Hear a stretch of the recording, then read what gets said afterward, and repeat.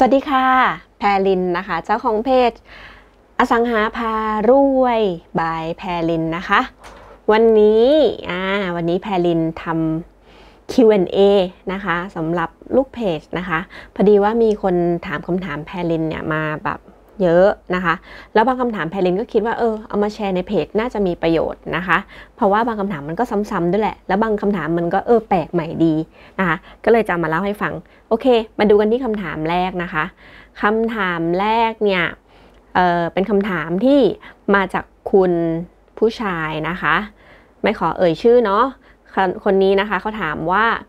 อยากให้คุณแพรลินนะคะ ช่วยเจาะลึกเรื่องการลงทุน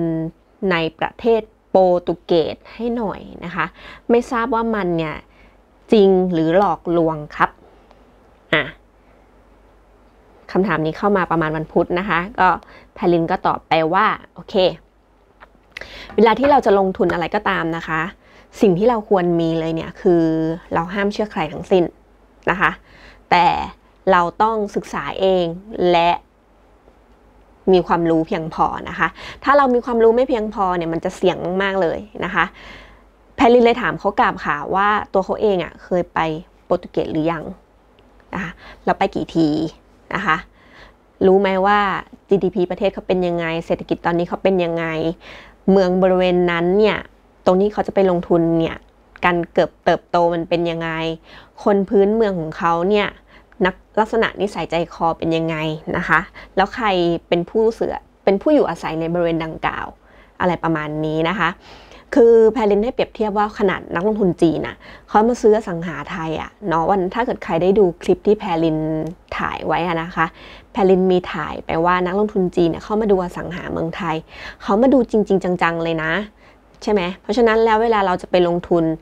ไม่ว่าจะอะไรก็ตามหรือประเทศไหนก็ตาม ถ้าเราจะลงทุนนะคะ เราควรจะไปดูสักนิดนึงนะคะ เพราะไม่เช่นนั้นแล้วนะคะ เงินของคุณนะคะ ก็จะถูกเอาไปให้คนอื่นถลุงใช้เล่นนะคะ อืมเออแล้วก็ที่แพลินจะแนะนำเพิ่มเติมก็คือว่าในเมืองไทยอะจริง ๆ แล้วอะคือต่างชาติอะเขามาซื้อสังหาเมืองไทย แต่กลับกันคนไทยจะไปซื้อสังหาต่างชาติ โอเคแหละ คือถ้าแบบอสังหาในเมืองไทยมันไม่มีอะไรให้เล่นไปเล่นต่างชาติโอเค แต่ณวันนี้มันยังมีอะไรหรือเปล่า หรือคุณมองข้ามอะไรไปไหมนะคะ ลองกลับมาดูอสังหาในเมืองไทยก่อนนะคะ แล้วถ้ามันไม่ดีไม่มีจริง ๆ อะเชิญตามสบายเมืองนอกก็เมืองนอกนะคะ แต่อย่างที่บอกเราจะลงทุนอะไรก็ตามสิ่งที่แรกที่เราจะต้องมีนะคะ นั่นก็คือความรู้ความเข้าใจอย่างถ่องแท้ลึกซึ้งก่อนที่จะลงทุนนั่นเองค่ะ